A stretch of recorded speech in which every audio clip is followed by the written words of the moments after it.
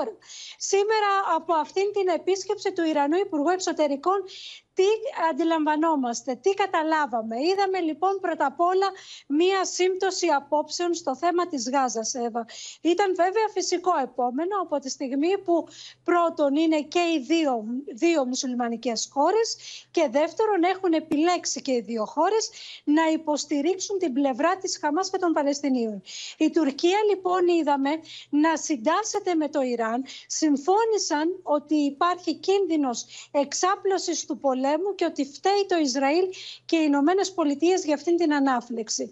Δεν γνωρίζουμε βέβαια, ακόμη τουλάχιστον, αν συμφώνησαν οι δυο τους σε κάποια διπλωματική πρωτοβουλία.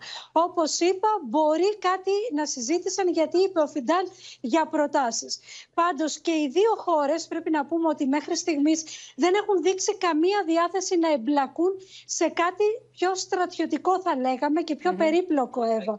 Ως δύο χώρες η Τουρκία και το Ιράν που δεν είναι αραβικές χώρες υπόψη, το μόνο ίσως που θα μπορούσαν θα ήταν να συγκροτήσουν ένα δικό τους μέτωπο σε σχέση με τις υπόλοιπες αραβικές χώρες προκειμένου να ασκήσουν ε, και αυτό είναι το πιο σημαντικό κάποιο είδους επιρροή στη Χαμάς και είτε για και με τη Ρωσία. Ομήρων, Ακριβώς, είτε για απελευθέρωση ομήρων, είτε για κάποια άλλη συμφωνία και μάλιστα είναι οι μόνες χώρες που ακούει η Χαμάς.